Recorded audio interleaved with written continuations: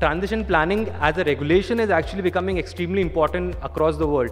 Uh, this is a dated uh, slide deck, but just I think this last month, uh, corporate sustainability due diligence directive CSDDD uh, was passed in the EU, which basically mandates uh, disclosure of transition plans, climate transition plans by a set of uh, you know large corporates operating in the EU.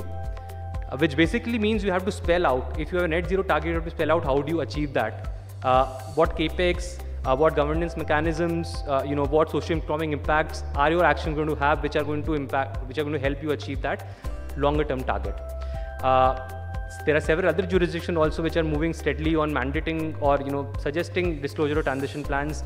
Uh, so are voluntary organizations such as IFRS Foundation, GFANZ.